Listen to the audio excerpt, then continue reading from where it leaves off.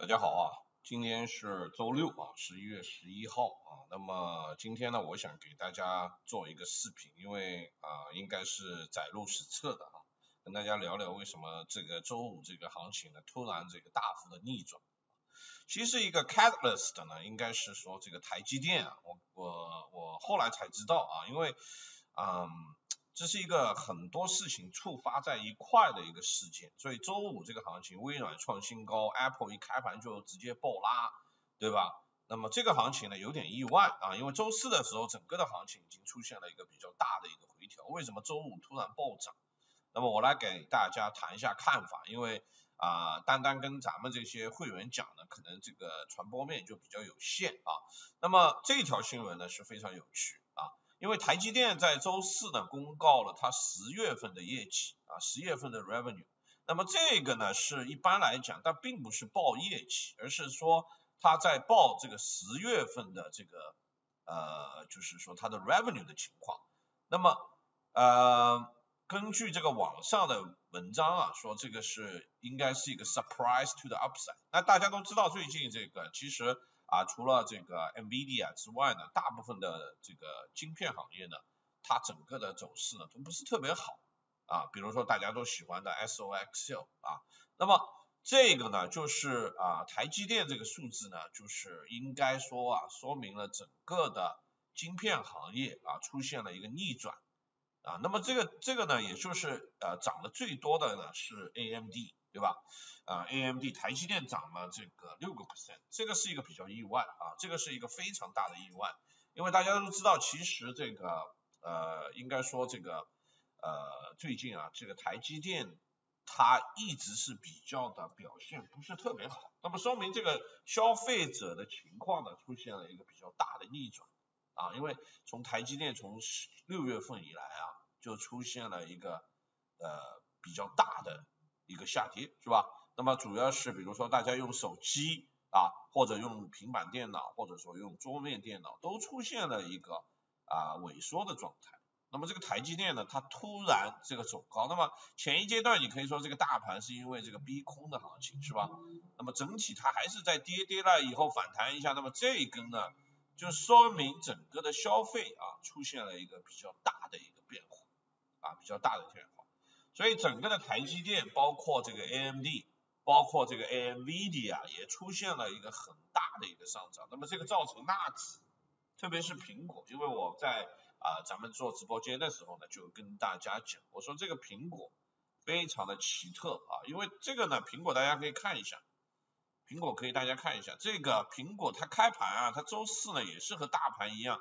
是吧？咱们三十年国债拍卖不顺啊，然后鲍威尔讲了一个鹰派的讲话啊，市场果然拐头了，是吧？但是呢，它开盘之后呢，它并没有啊怎么样开始回撤，而是高在最高点一直不肯下去啊，一直不肯下去，所以这个呢就是一个非常大的特特征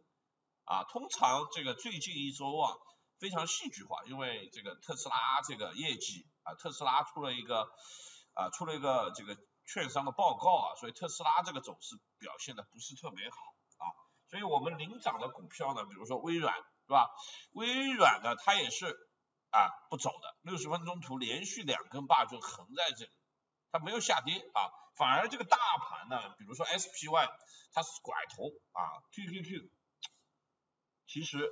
大家可以看 QQQ 还是在第三根棒，六十分钟图。也就是说，咱们三小时之后呢，才拉到这个 Apple，它就是连续两根八，它就没有撤过，没有下来过啊。SPY 呢，相对来讲更弱啊，它这个开盘之后呢，还往下拐了一下啊，还拐头去补这个缺口，然后再拉，是吧？那么这个呢，就说明呃空头呢，它这个补仓呢已经顶在那儿了啊。那么今天呢，我要跟大家讲第二个原因啊，第二个原因。这篇文章呢是新浪啊，今年九月二十六号的文章啊。今年我跟大家讲过，大家昨天我在美洲华尔街跟大家聊了一下啊，我就说大家可以看一下这个对冲基金连续十四周做空，对冲基金陷入史诗般的熔断挤压 （short squeeze），是吧？那么去年这个时候呢？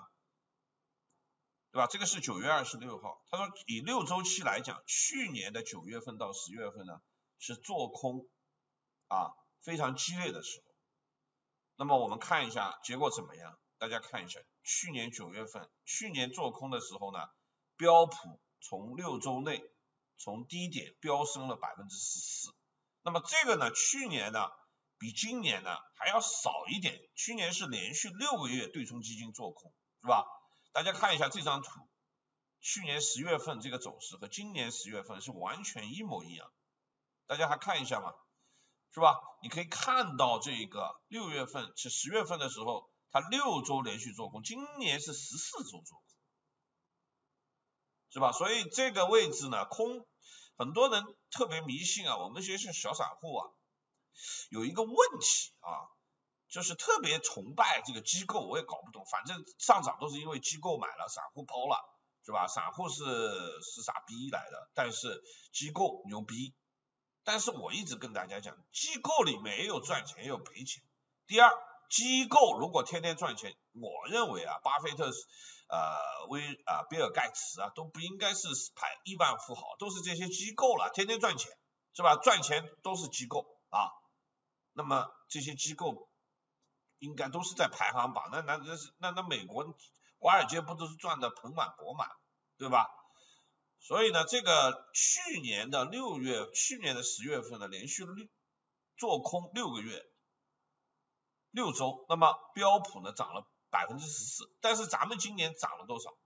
只涨了百分之六到百分之八左右，是吧？周一周五的时候又又涨了一点，但是总体还是在六点四三左右。所以这个是比较麻烦，我觉得大盘应该去创新高。当然，如果我们回头看这个十月份的行情啊。去年十月份的行情，它也是来来的一个来的一个比较呃怎么样，就是一个还是一个比较震荡的一个走势啊，所以周五呢都让大家啊很意外，因为第一呢周五呢应该没什么行情，但是呢周五我们就看到这个台积电的关系啊，台积电的关系。那么第三点我就要跟大家讲，因为我也自己亲身经历过华尔街的逼空行情，周。五的时候呢，我就跟大家讲，我嗅到了一个很大的一个不同的一个味道啊，不同的味道。所以我我我说在四四幺四标普这个位置啊，你你要坚决的做空。那我们很多股市小白呢就很害怕啊，很害怕在四四幺三、四四幺四这个位置，他不敢买，他觉得很吓人，因为咱们周三的时候也曾经经历过。在这个四四幺三四四零七，因为这个大盘一直拱拱拱拱到这里呢，这个按照这个技术分析呢，是的确啊，在这里呢震荡，是吧？没有突破，但是这一次又突破了，你怎么处理？你怎么处理？周五的时候就打到这个位置，你看它，它就是在高位震震震四三，它在四三幺四四四幺四这个位置拱拱拱拱上去。那么我自己参加过这个逼空大战，我想跟大家讲一下。这有两个方面，一方面这个消息呢引发了大量的，因为台积电这条新闻太重大。那么一般来讲的话，台积电它是报年月报、一季报，对吧？然后是每个月呢它公告这个 revenue，那么 revenue 突然出现了一个比较大的一个攀升，说明这个给市场传出一个信息呢，就是晶片行业已经见底。这个其实台积电。啊，应该在最近消息来讲，台积电自己已经开始买，啊，自己已经开始买了，内部的股东，包括他的董事长都说这个晶片行业已经见底，但是没有人相信，你给我看数据，对吧？除非看数据。那么我觉得就是第一，台积电的新闻亮瞎眼，造成这个这个 TSM 的大量的这个上涨，这个造成 TSM。TSM 是应该说，如果不是老一就是大，老大就是老二，对吧？这个大家都知道，这个台积电一开盘就逼空了。这个 AMD 它是不像这个 NVIDIA 完全是 AI 的概念，它这个走的也非常非常的强。所以整个的晶片行业带动了纳指走高，最后把这个标普也给掀翻掉了啊。那么还有一个呢，就是华尔街的大鳄呢，利用周五呢去逼空。还有一个呢，就是可能咱们这个周五的时候呢，很多的对冲基金啊，被迫的逼空了，因为它这个周五被 margin call 啊，对冲基金通常会在高盛、摩根斯丹利这些大的投行里面开户，然后呢，摩根大摩呢会给他们或者高盛呢给他们一个非常大的一个杠杆，这个 Bill 黄啊也是一个很牛逼的。啊，他是以前是老虎基金的中国总中国区的总中国区的 CEO。那么他是大赚大赔，最近也签上了一个很大的官司，因为他把这个啊瑞银呢给打爆了，啊他也做很多 CFD，很多朋友不懂这个什么叫 CFD，CFD 就是一个欧洲的产品，所以他呢赚呢赚的很多，但是亏呢也是亏亏的很大，是吧？啊所以呢他这种就说明华尔街里面的杠杆是非常大的，那么周五呢可能面临了一个 margin call。所以这三件事情交合在一起，引发了一个，就像咱们这个网红在这个 YouTube 上说的啊，好像是空气中都弥漫的烧焦的味道，啊，烧焦的味道。那么这个行情，我觉得呢，啊，如果我们按照咱们每周华尔街里面讲的时间之窗啊，还要涨，还要涨。所以这个虽然周五的时候呢，盘后啊，穆迪呢给了美国一些麻烦啊。我们看到 QQQ 啊盘后都跌了，因为期货都不交易了嘛，好吧？所以呢，我觉得呢，这个还会还会冲一下，还会继续冲啊，还会冲。所以啊，这个没办法，因为它这个逼空呢会很连续。如果我们看去年的十月份的这个行情，是吧？去年十月份的这个行情，你可以看到这个我们历史是一面镜子，对吧？它这个涨上来，然后怎么样？它这个拉高了之后。如果我们把这个十月份的 QQQ 这个走走势图，是吧？它在这里也是大量的下跌，是吧？这个和咱们现在是走的一模一样，但是今年呢走的更高啊，因为对冲基金它在这里呢是的确做空美股，去年和今年是完全很类似，大家都预测二零二三年美国将进入衰退，结果美国的整个的经济报告显示呢，它没有衰退。当然，我们也也可能现在又是重演了。二零二三年的时候呢，现在美国的大部分的啊，比如说啊，很多的这个大佬啊，J.P. Morgan 的大佬都说美国要衰退了，明年要衰退了，美国的债券之王也衰退了，所以对冲基金就来了，是吧？对冲基金是能够闻到血腥味，在千里海外，它都会跑飞快的飞快的来到这个市场。来血腥的做空，对吧？但是呢，我们看到十月份，去年十月份这一个做空行情呢，结果我们怎么样？十月份出现了一轮暴跌，是吧？十一月份这个涨多少有跌多少，然后呢再坚强的挺起来，再坚强的下来，再坚强的挺起来。那为什么？最终就是说明哈，经济的确没有出现衰退，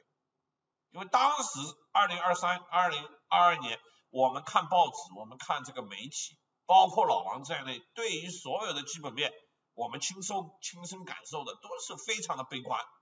结果呢，历史证明啊，没有这么悲观。那么今年会不会这样？现在的对冲基金已经达到了十四周的最大的逼最大的做空量啊，这个这个股票会不会长瞎眼啊？We will see。好吧，欢迎喜欢老王啊点赞，然后呢加老王的微信，小尼 C F N 二零二二，参加股票群和老王一起讨论啊，电话八零零九五八八五六一，谢谢大家。